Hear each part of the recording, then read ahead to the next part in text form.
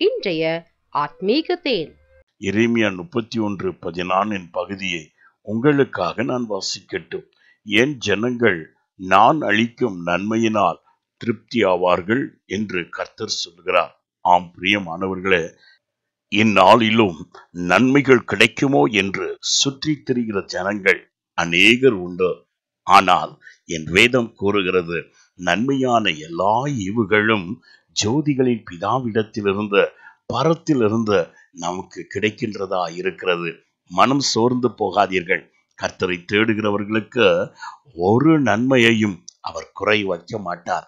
உத்தமமாய் நடக்கிறவர்களுக்கு நிச்சயம் அவர் நன்மைகளை வழங்குகிறவராய் இருக்கிற தேவன். ஆனபடியால் நன்மையின் நாயகனாகிய இயேசு கிறிஸ்துவை இயேசு கிறிஸ்துவின் மூலமாய் பிதாவாகிய தேவனை நோக்கி விண்ணப்பம் செய்கிறவர்களாய் இருப்போம். நம்முடைய வாழ்க்கையில் இருக்கிற எல்லா குறைபாடுகளையும் அவர் நிறைவு செய்து தருவார். நான் உங்களுக்காய் ஜபிக்கட்டும். அவர் நிறைவு செய்து தருவார். நான் உங்களுக்காய் ஜபிக்கட்டும். எங்களை அதிகமாய் நேசிக்கும் அன்புள்ள பிதாவே உமை நாடி தேடுகிறவர்களை நீ ஒருபோதும் கைவிடுவதில்லப்பா. ஆம் தகப்பனே இந்நாளிலும் உம்முடைய சமூகத்தில் தங்களை தாழ்த்தி உம்மை தேடுகிற பிள்ளைகளுடைய வாழ்க்கையில தடைபட்டிருக்கிற நன்மைகளை வர்ஷிக்க பண்ண வேண்டுமாறு ஜெபிக்கிறோம் நன்மை உம்மிடத்திலிருந்து அல்லவோ எங்களுக்கு கிட்டும்.